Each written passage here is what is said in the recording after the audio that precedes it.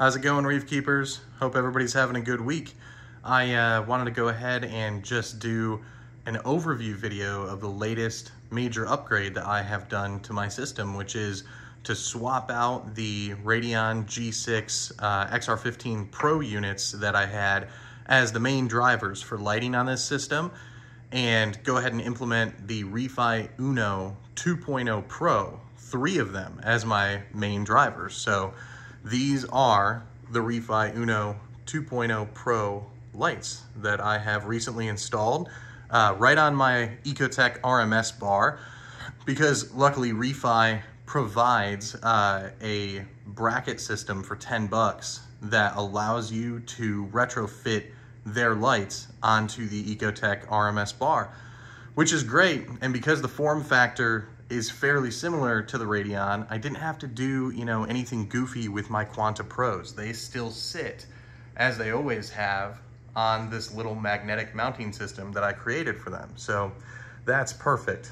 So to get a close-up on these lights, which they're black, so it's kind of difficult to see them, but they've got uh, a pretty serious heat distribution system, a really powerful fan, and some really powerful componentry that you can check out on their website to disperse heat, and that's good because these are powerful units, more powerful than Radions. Not that I will run them, you know, at least on this system, to their full potential, but it's nice to know that the components inside are not gonna get cooked or anything like that over time. Um, so yeah, they've got a grill on either side to disperse the heat from, and then a fan system up on top with a really beefy looking fan on the interior. Um, then uh, on the bottom, this is actually a pane of solid glass that goes across the bottom of it to protect from salt spray.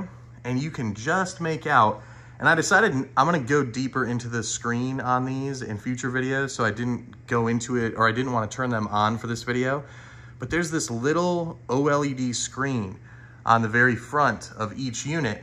And that screen displays stuff like fan speed, uh, you know, your network strength, what network you're connected to, um, you know, various information about how to connect to the light, that kind of thing, which is an interesting touch. But when you turn them off, you can't even see the screens, you know, unless you're up really close, which is nice. You can toggle them on and off, and you can do that and control all the other channels of the light and the intensity of the light and the scheduling of the light and everything like that through, amazing in this day and age, Wi-Fi, right? So that's something that like I really didn't have uh, with the Radion that I missed was just the ability to hook up the Radions to my Wi-Fi and go ahead and control them because I found Bluetooth, which is what the EcoTech Radion utilizes to connect to its app, to be pretty weak, right?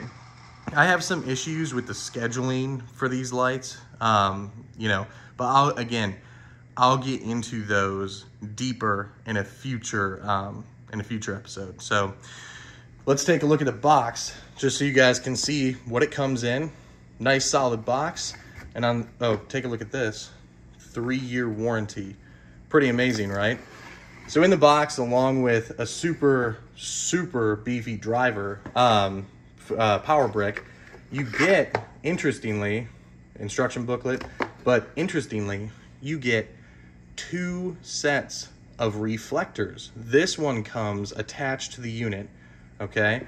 And then there's another one that allows you to spread out the light better. And that one I have already swapped on to the bottom of each unit. And what those do is they create little concave wells that the LED sits up in. And these wells, which you can see right here, either focus the light or create a wider distribution for the light. And there's four little bolts that you pop off, and then you lay this up on the LED board, and then you pop those four bolts in. It took me no longer than three, four minutes to do that to each unit which I think is incredible because it allows you to kind of create the sort of light you want to create right out of the box. You don't have to worry about like, you know, potentially having to adjust height or add units or subtract units or, you know, whatever, angle units certain ways. You can just adjust spread instantly to what you would like. And I believe there's even another option that you can purchase for like $15 on the ReeFi Labs website. So, um, which is kind of an outlier, but the two most common spread options they include right in the box, which is incredible.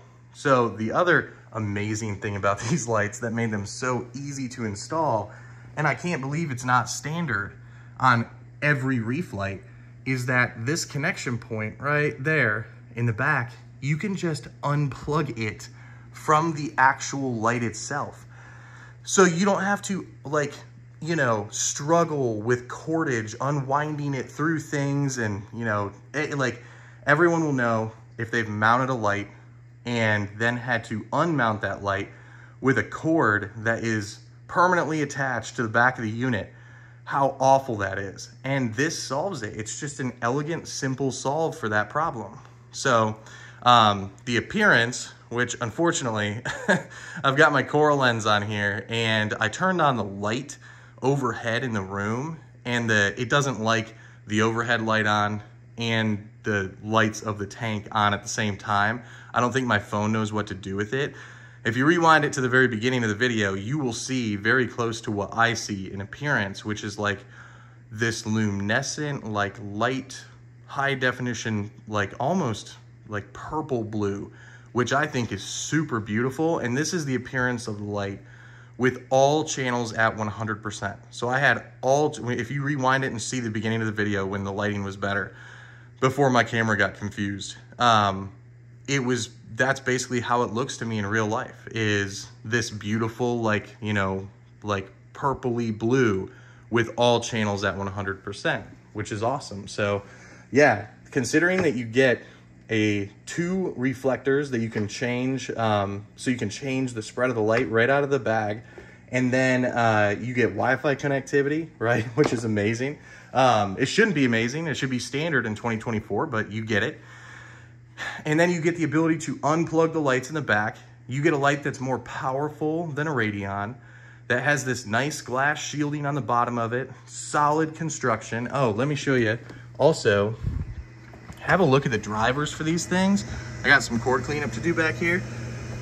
Those three uh, steel units right there big, strong, beefy steel power bricks for these things.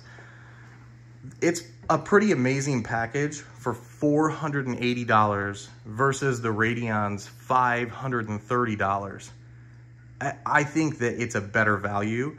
Um, also, worth noting, I also wanted to get rid of the Radions because they had randomly dropped in intensity on three separate occasions with like no, no, nothing that I had done. I hadn't even been in Mobius for like weeks between these incidents. And I, it was just happening not at any predictable clip, but over the course of three months, three random times, the lights dropped in intensity.